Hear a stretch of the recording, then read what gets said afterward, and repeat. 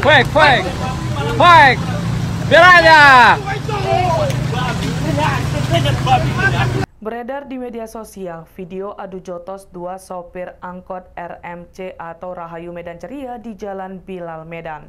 Adu jotos dua sopir angkot tersebut diduga terjadi lantaran saling berebut penumpang. Video adu jotos dua sopir angkot tersebut diunggah oleh akun Instagram @tkp Medan. Dalam video singkat tersebut, tampak dua pria yang merupakan sopir angkot tengah adu jotos di pinggir jalan raya. Tampak keduanya adu jotos dengan tangan kosong tanpa menggunakan alat apa pun. Sementara angkot RMC Rahayu Medan Ceria nomor 125 yang mereka kemudikan diberhentikan di sisi jalan. Adu jotos antara sopir angkot berbaju biru dan berbaju coklat itu tampak dileraikan warga yang melintas.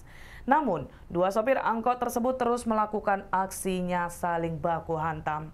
Bahkan pertikaian antara kedua sopir angkot tersebut sempat membuat satu unit motor yang dikendarai warga hampir terjatuh. Lantaran keduanya sulit untuk dilerai, warga yang menyaksikan pertikaian itu terpaksa melerainya dengan cara tegas. Warga yang melerai pun sempat melayangkan tendangan ke salah satu sopir angkot agar menghentikan adu jotos itu. Sementara satu sopir angkot lainnya didorong paksa oleh warga. Alhasil, keduanya menghentikan pertikaian tersebut dan kembali ke angkot masing-masing.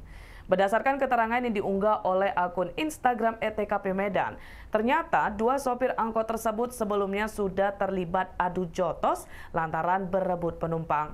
Pertikaian keduanya itu sempat terhenti, namun keduanya kembali adu jotos di depan rumah sakit Imelda Medan. Ikuti terus berita menarik lainnya. Jangan lupa like dan share seluruh akun Tribun Medan. Thank you.